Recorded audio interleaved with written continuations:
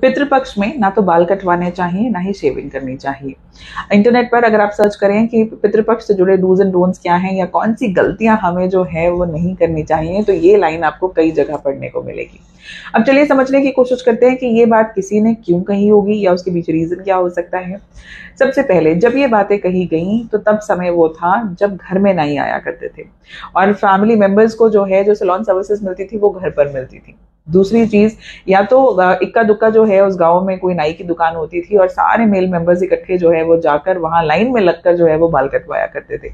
In all, पूरा दिन जो है, वो इस काम के लिए लग जाता तभी ये कहा गया कि श्राद्ध के दौरान, पितृपक्ष के दौरान आप ये सब काम ना करें। क्यों? क्योंकि पितृपक्ष का जो तर्पण या जो करना है, वो तो मेल मेंबर्स ने करना है। और अगर वो सेलॉन सर्विसेज़ में बिज़ी हो गए तो फिर लेट हो जाएँगे। हम ये, जो है, वो तर्पण करेंगे कब पितृपक्ष में ब्राह्मण को खाना खिलाएँगे, कैसे?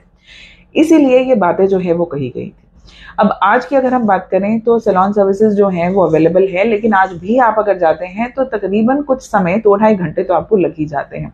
तो इस बात को मानना जो है वो बुरा नहीं है कि जिस दिन आप अपने घर में श्राद्ध जो है वो कर रहे हैं तो आपको ना तो बाल कटवाने चाहिए, ना ही आपको शेविंग करानी चाहिए, क्योंकि पितरों को इंतज़ार क्यों करवाना? ब्राह्मण को इंतज़ार क्यों करवाना? These are my thoughts what are yours let me know in the comments